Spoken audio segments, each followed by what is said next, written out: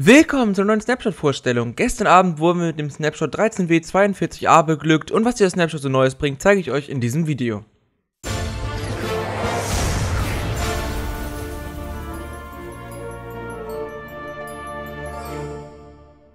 Anfangen tun wir aber jedoch erstmal mit einer Kleinigkeit nebenbei. Und zwar hat Jeb gesagt, dass diesen Donnerstag, ob das jetzt dieser gestern war, oder der nächste Woche, ich denke mal nächste Woche, sogar schon ein Pre-Release zu 1.7 erscheinen soll und das Update an Halloween erscheinen soll.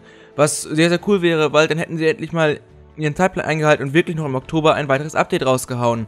Dazu gibt es auch eine Neuerung, die ich euch gleich noch zeigen werde, die mit Halloween zusammenhängt und die das Ganze nochmal etwas glaubwürdiger erscheinen lässt, dass es wirklich an Halloween rauskommen soll. Ob das aber wirklich passiert, sehen wir wohl erst in zwei Wochen.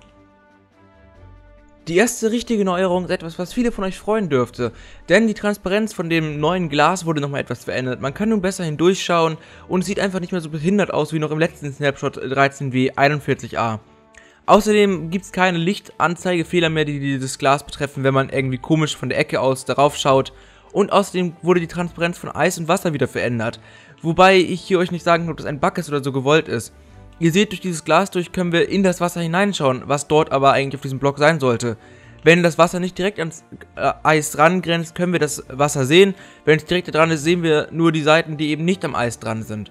Da sehen wir noch einmal Wasser, was wirklich direkt dran ist. Wir sehen es einfach nicht. Und wenn wir durch Wasser aufs Eis schauen, sehen wir allerdings das Eis. Wie bereits erwähnt, soll es doch etwas Halloween-mäßiges im Update geben.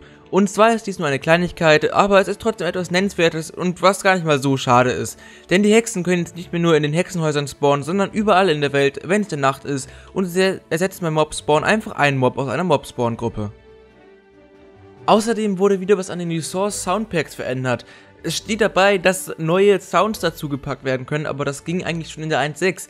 Was genau das nun heißen soll, weiß ich nicht, aber ich möchte euch trotzdem einmal zeigen. Also, man kann jetzt neue Sounds in Soundpacks reinpacken und wieder rausnehmen und verändern. Und was das genau heißt, schreibt es mir in die Kommentare.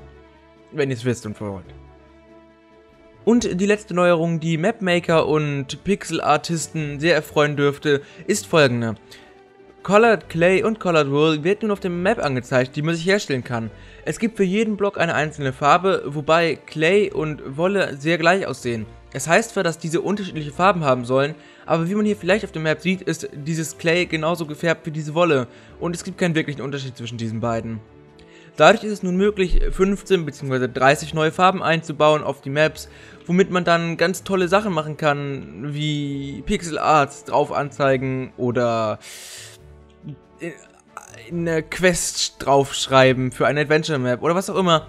Ich habe jetzt zum Demonstrieren einmal so eine Art DNA-Helix aufgebaut, was man nicht so gut sieht, aber man sieht, die Blöcke werden auf der Minimap angezeigt und es ist halt nur flach, das heißt der oberste Block wird angezeigt. Wie man hier auch sehen kann, da unten steht ein paar Wörter aus einem Satz und da oben steht dann das letzte Wort aus diesem Satz und alle zusammen auf der Map sehen aber ganz gleich aus, auf der gleichen Höhe. Man merkt keinen Unterschied dazwischen, dass diese auf verschiedenen Ebenen gebaut wurden. Und dasselbe ist auch mit dem Teil hier hinten. Alle drei Wollfarben übereinander existieren, aber an sich gibt es nur einmal das Wort in Rot, weil Rot ganz oben ist. So, und das war es nun auch mit der Vorstellung des Snapshots 13W42A und ich hoffe mal wieder, dass es euch soweit gefallen hat. Wenn ihr über die kommenden Snapshots und vielleicht das kommende 1.7 Update in ein bis zwei Wochen informiert bleiben wollt, lasst ein Abo da und dann werdet ihr über die Updates und News informiert. Wenn ihr es nicht getan habt, würde ich mich auch sehr über eine Bewertung freuen und dann sehen wir uns bestimmt beim nächsten Mal wieder. Bis dahin, vielen Dank fürs Zuschauen und tschüss. tschüss.